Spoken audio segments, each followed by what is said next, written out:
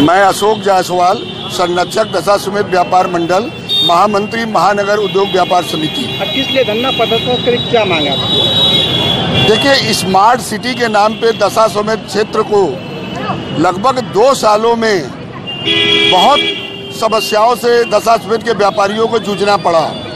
इन दो वर्षों में जाके ये निर्माण कार्य हुआ है और आज बहुत चर्चा है शहर में कि दशा समेत गोदौलिया बहुत सुंदर हो गया है। देखने में तो सुंदर है, मगर सच्चाई आप देख रहे हैं कि अभी स्मार्ट सिटी में ये परियोजना चालू हुई और चालू होने के एक दो महीने के अंदर ही देखिए कि इस तरीके से जल संस्थान के द्वारा जो पाइप बिछाई गई है, वो फट गई। अब आप ये बताइए कि विगत आगे एक साल, दो साल के बाद स्थिति यहाँ पे कितनी भयावह होगी? यहाँ का व्यापार, यहाँ का सब कुछ चौपट हो जाएगा। ये शहर का, काशी का हृदय स्थल है। कोई भी काशी आएगा, उसको इस क्षेत्र में बाबा विश्वनाथ के दर्शन करने, माँ गंगा की आरती देखने, आना ही आना है। बगैर उसकी काशी यात्रा समाप्त नहीं होती। वो यात्री इस जगह पे आएगा स्मार्ट सिटी के नाम पे, जो यहाँ पे कार्य हुआ है, उसके बारे में अपनी क्या ओपिनियन, अपनी क्या विचार रखेगा। हम आप लोगों के माध्यम से, मीडिया के माध्यम से, प्रशासन को अवगत कराना चाहते हैं कि कम से कम इन सब परेशानियों को अविलंब ध्यान में देने की ज़रूरत है।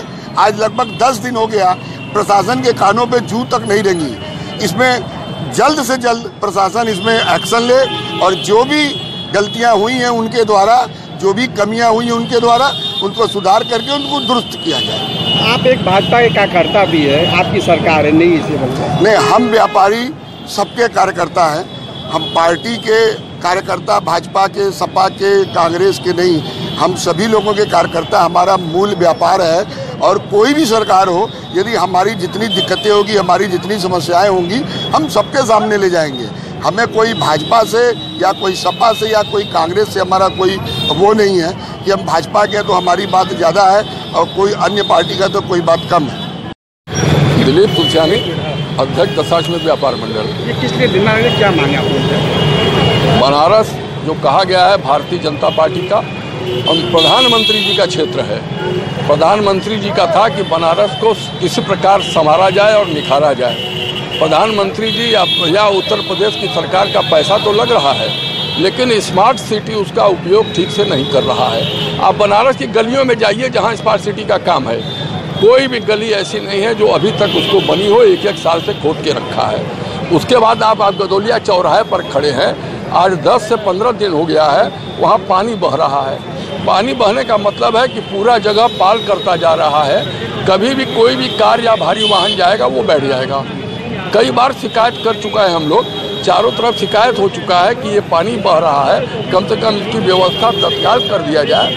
आज तक उस पर किसी प्रकार की सुनवाई नहीं हुई। मजबूरन आज व्यापार मंडल के माध्यम से हम लोग यहाँ उपस्थित हुए हैं कि हम लोग शासन का और शासन का नहीं, प्रशासन का।